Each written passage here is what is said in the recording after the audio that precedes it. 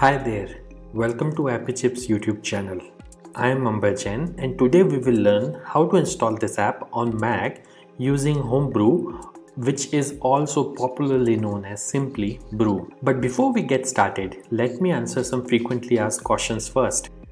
To start with, what does a package manager like Homebrew does? Well, a package manager lets you install, uninstall or repair apps on your Mac.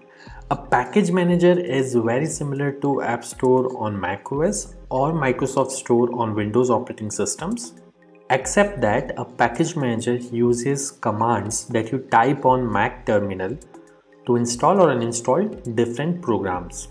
Some of the popular package managers for Mac include Homebrew, Nix, and MacPorts. And if you are coming from a Linux background, you will feel at home with Homebrew, especially if you have used package managers like apt, pacman, yum, etc. on Linux based operating systems. Next up, is it safe to install the Mac apps via Homebrew? Short answer yes. In fact, Homebrew is the most popular and thus most widely used package manager on macOS. Moreover, Homebrew is a non-profit member of Software Freedom Conservancy Foundation, also known as SFC Foundation. Many other open source projects like Git, Busybox, Samba, Wine are all part of this Software Freedom Conservancy organization. Also, you might be surprised to know that Homebrew is the most forked project on GitHub and it has the largest number of contributors on its GitHub repository. Many devs at organizations like Google, Apple, Dropbox, Stripe, etc. use Homebrew to set up different development environments on their MacBooks and iMacs. Next question.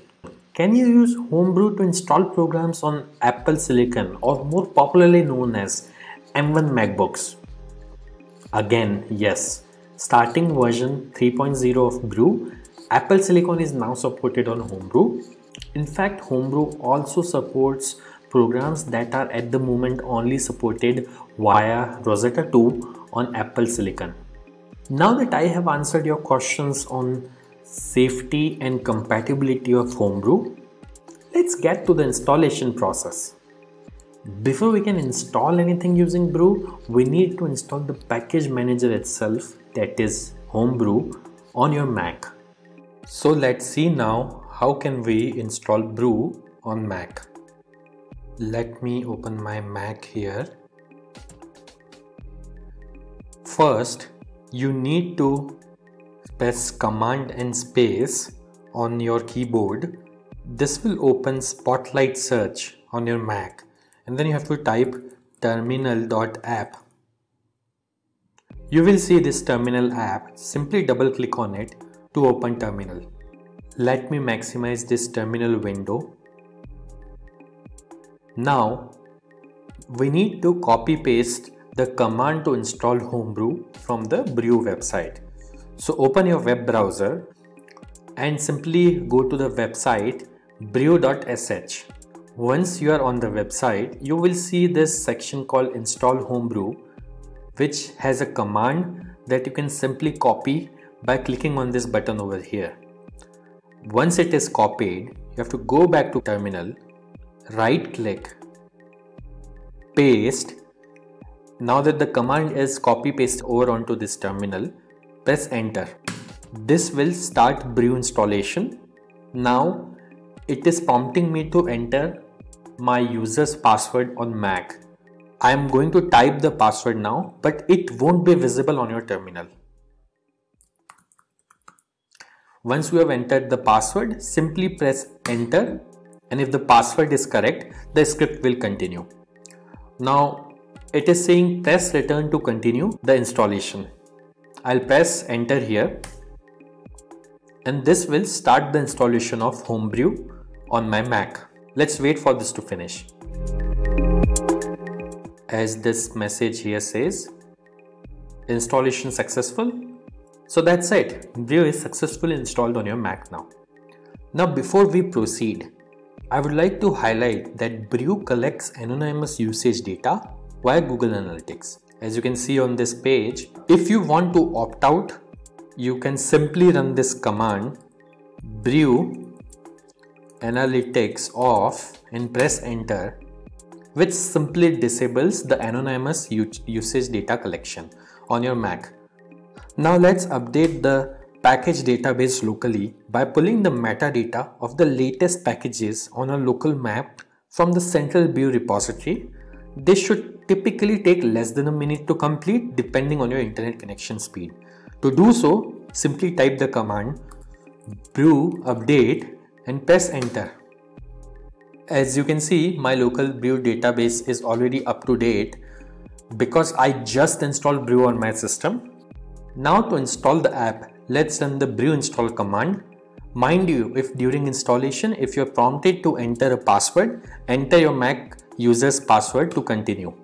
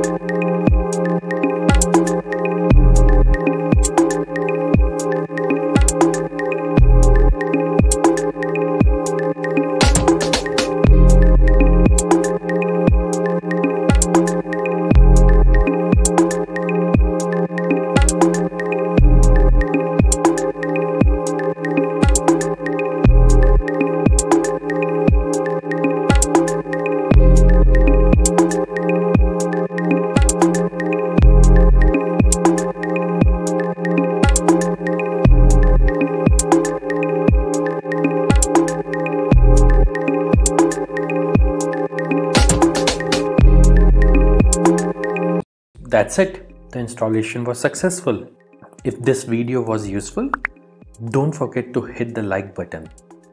And if you faced any problems during the installation in this video, please leave a comment below and somebody from AppyChip team will reply back to you.